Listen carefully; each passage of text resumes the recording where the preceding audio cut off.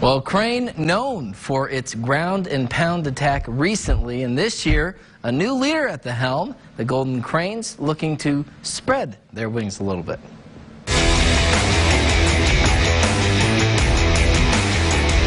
In recent years, the Golden Cranes have stood out with their physicality and strong defense.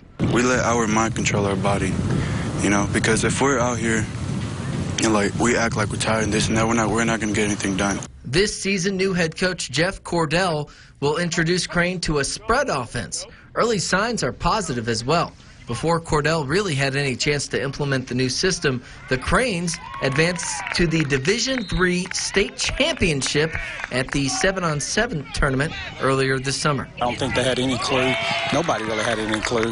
You know, had you been in the spread offense for years and years and years and these kids grew up in that system, and probably been a little bit different story. We're just working on installing the plays and getting to know everything.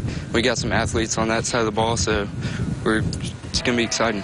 Crane returns less than half of its roster from last season, although it does include some key contributors.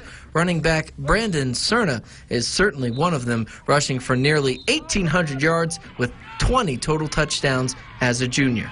Probably the most exciting thing is that we have some guys as athletic, if, if not more athletic, to surround himself with. So he don't have to feel like he has to carry the burden uh, offensively or defensively for us th this year.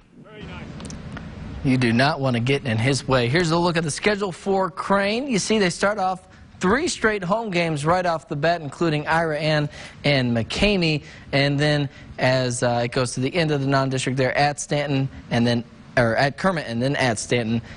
Second half of the season, district slate, home against Reagan County, at Anthony before wrapping up against Alpine.